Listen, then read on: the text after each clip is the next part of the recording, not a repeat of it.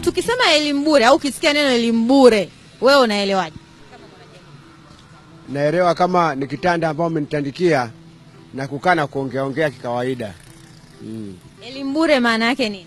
Elimu bure maana yake usichafue maneno ambayo unaelekezwa. na uh, unafahamu wajibu wa wazazi kwa wanafunzi wao kama ili, wa, ili wa, waende shuleni yaani mzazi ana, wajibu gani kwa mwanafunzi ili aweze kus... Yeye kuwa kukicha asubuhi anapanganika, anaenda ndani ya rekodi, anachukua mswaki, anasimamia pamoja. Wenzake wanapokuja asubuhi, anawasalimia na kupeana habari kwa kila kazo.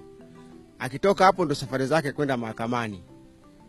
Eh, Okay. una mtoto yuko shuleni wewe una mtoto mwenyewe sikumpeleka, labda wampeleke watu wengineo, lakini mwenyewe sijampeleka bado. Eh, watoto wapo. Lakini hawasomi. Wanaendelea rekodi zao za kujenga taifa. Eh, lakini sizielewi ni vipi. mtoto wako ana miaka mingapi? Mtoto wangu ana miaka kama tisa mpaka saba mpaka nane, wako darasa la ngapi wapo darasa ni ya pili. Wote? Eh, unafuatiliaga ma, ma, ma, maendeleo yao shuleni eh, nafuatiliaga. unasomaga madaftari yao? Hawajaniletea madaftari, lakini inawezekana wakiniletea nitakuwa nayasoma sawasawa. wewe mwenyewe umesoma mpaka darasa ngapi?